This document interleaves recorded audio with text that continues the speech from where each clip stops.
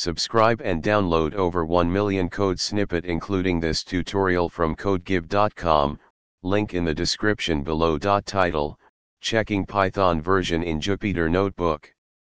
Introduction Jupyter Notebook is a powerful tool for interactive computing and data analysis, widely used in the Python community. It allows users to create and share documents that contain live code, equations, visualizations, and narrative text.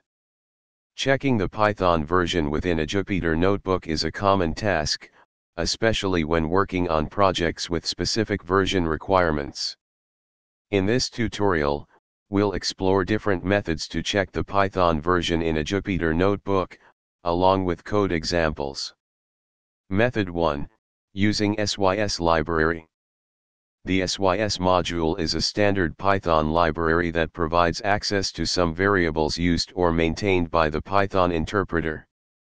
We can use it to check the Python version within a Jupyter notebook. Method 2, using platform library.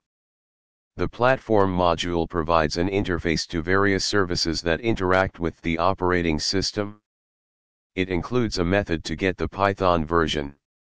Method 3, using sysconfig library.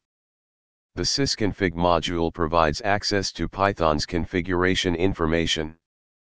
It can be used to get information about the Python installation, including the version.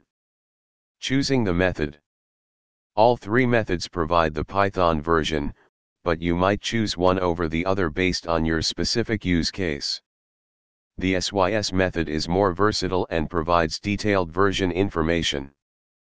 The platform method is concise and suitable for simple version checks.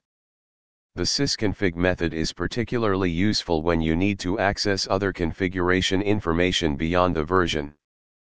Conclusion Checking the Python version in a Jupyter notebook is a straightforward task, and you can use different methods depending on your requirements.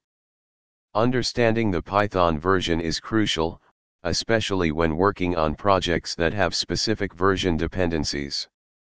The methods presented in this tutorial will help you retrieve the Python version information effectively.